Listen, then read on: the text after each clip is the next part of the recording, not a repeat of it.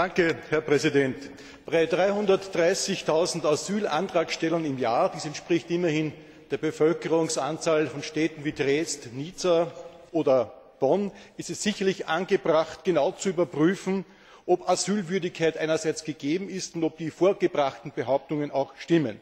Nichts spricht gegen EU Mindeststandards, aber es muss den Mitgliedstaaten auch erlaubt sein, unter Einbehaltung internationaler Konventionen raschere und straffere Prüfungen durchzuführen.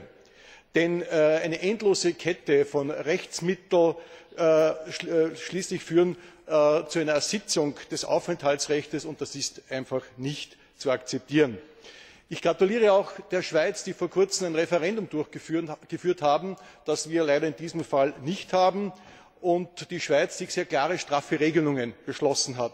Allein die Tatsache, dass binnen 100 Tagen zu entscheiden ist, ist eine qualitative Verbesserung für die Lage im Vergleich zur Union, wo wir sechs Monate Asylverfahren haben. Abschließend finde ich es sehr bedenklich, dass bereits nach neun Monaten der Zugang zum Arbeitsmarkt ermöglicht wird. Das öffnet Billigarbeit und Lohndumping Tür und Tor. besten dank!